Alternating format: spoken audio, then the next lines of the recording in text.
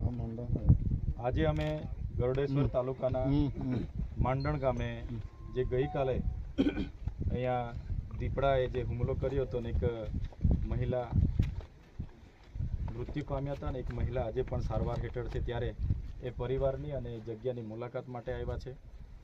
ત્યારે અહીં અમને લાગે છે કે આ દીપડો કોઈ જગ્યાએથી કદાચ પાંજરામાં કોઈ જગ્યાથી લાવીને અહીંયા મૂક્યા હશે તો જ આટલો બધો છંછેડાયેલો છે.